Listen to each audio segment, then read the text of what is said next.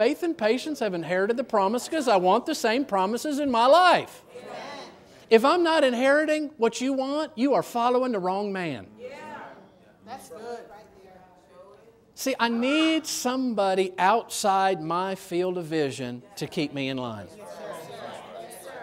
Years ago, years ago, Pastor Philip, Pastor Philip and I have been together just as long.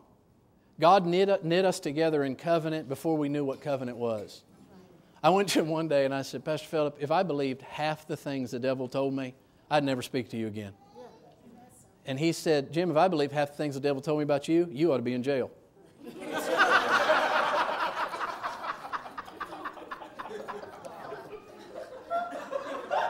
it's the truth. But years ago, we had just we had just started. See, Paul was right. Paul said women are to be silent.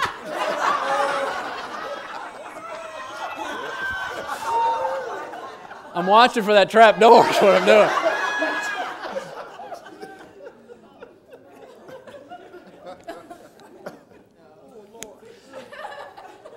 But Pastor Philip and I were talking, and this, he, he had just gotten home from his trip to the Marshall Islands, his first ministry trip there. And he and I were talking about, man, you and I need to go together, and you can preach on this island, I can preach on this island. And we knew it was God. We, we had them Holy Ghost doodads, all, you know, hair standing up. Like, oh, yeah, we had all that going on.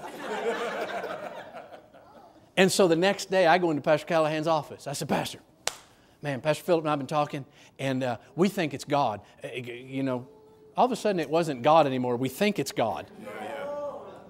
And, and he and I are going to go to the Marshall Islands together. Pastor Callahan goes, That ain't God. And I said, It was mostly Philip. And I just. I threw him under the bus.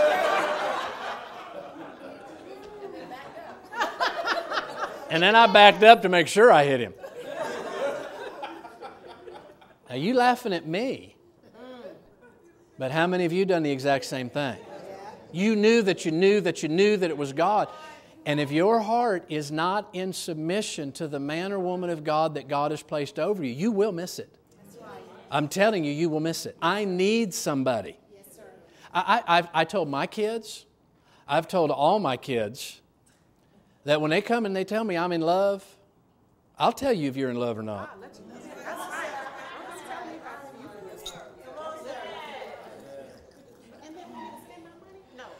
Uh, you bring him to me and we'll talk. Let, just, I, right. I don't need an interview. I just need to look in his eyes. That's right. Tell a lie. That's it.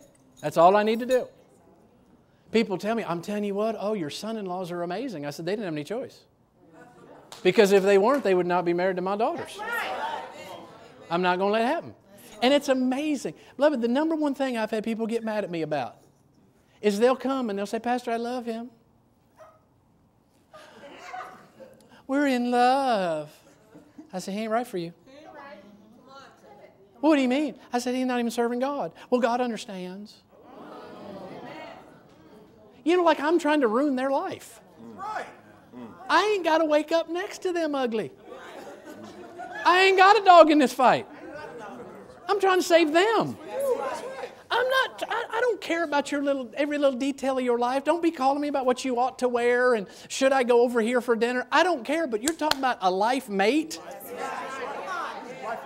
I want somebody who sees outside of my sexual vision.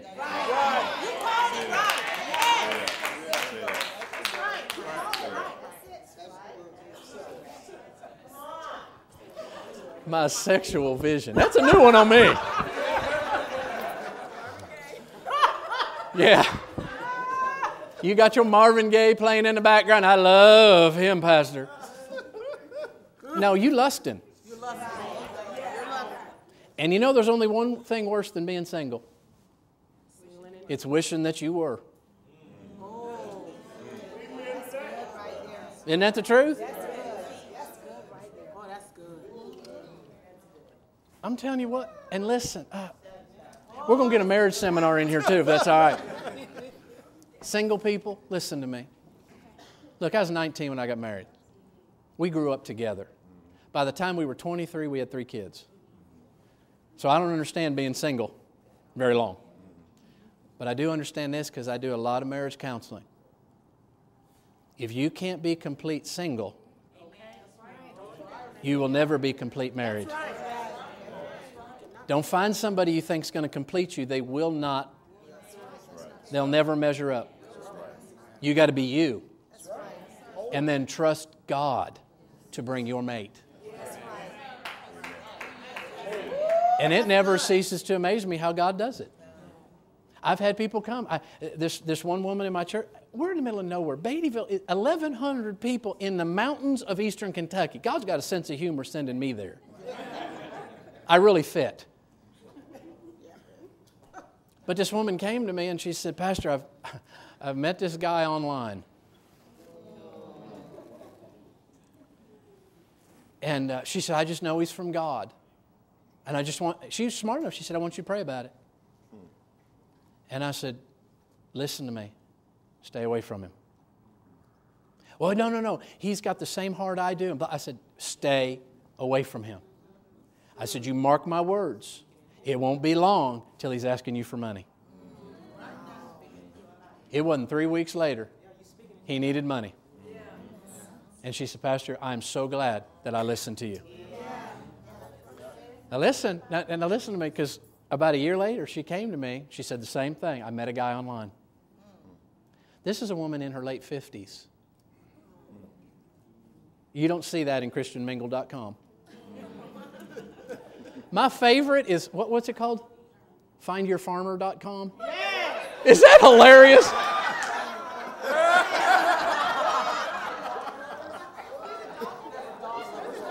Dog lovers? You know, find your farmers like, I'm goofy. Are you goofy too?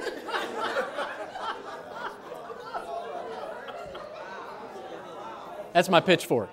That's what I'm holding. You Florida people didn't even know what that was. Like, What's it?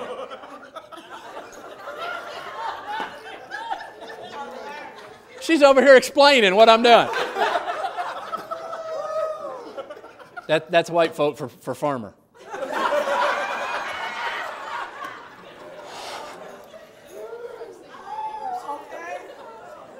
So she comes to me a year later. Now she's, she's learned enough. I, have got a track record with her. That's not the first thing that she's come to me about.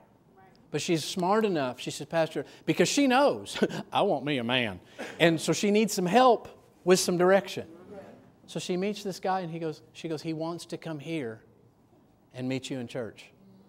From Louisiana to Kentucky. I said, let him come.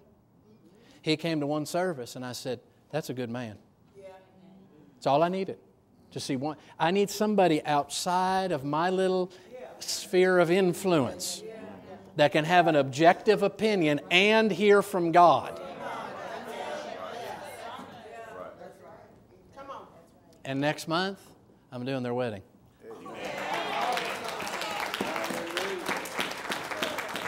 See, we, we try to figure out how God's going to do it. Now, I'd have never figured it out that way. Meet online, Start talking, start talking word. He, and this guy is on fire for God. He came to me six months ago, one of the largest sowers to us. And he came to me and he said, Pastor, you have changed my life. He said, since I, he said, I was broke when I came here. He said, I didn't have the money to get here. And he said, now I have more money than I've ever had in my life in one year. See, I need, I need, I need somebody I am so thankful to have Pastor Callahan that he'll speak into my life. I need that. Well, good Lord, Pastor. I mean, you've been in this 30 years. Don't you think you'd have it down by now? No, I don't. I still need somebody that can say, I don't know about that, Jim. I, I, I don't, I don't know that you ought to be doing this. And I'm open to be fine tuned. That's right. That's good. But see, we don't like admitting we're wrong. That's the most difficult thing about divine order. Divine order is easy until you disagree. and that's when divine order kicks in.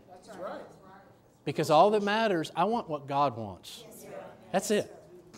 I don't care what people think about me. A statement by Oral Roberts years ago, it, it meant, so ministered to me. He said, Besides my wife, I'm not married to anything. Be- Now, do you understand what I'm saying?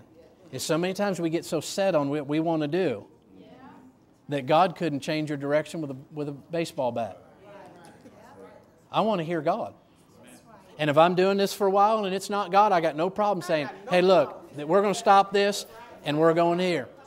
Now shut it down. I've, I've done a motorcycle rally for 10 years. And this year, the Lord told me, I don't want you to do it this year. And I got people coming saying, Why? Why aren't we doing it? We look forward to this. God said to. That's all that matters. I don't care if I've done it for 30 years. I want what, but I need somebody that can speak into my life. But listen to me, stay teachable. Keep yourself teachable. And come and say, Pastor, what do you think about this? And mark my words, the things you want to do anyway, you don't want to come to Him about. And those are the things you need to come to Him about. And it may not be that you come and He says no. It may be He comes and says, Yes, that's God. And that's the oomph mm. that you need to get you to complete it. Hallelujah. Hallelujah. Have I helped you?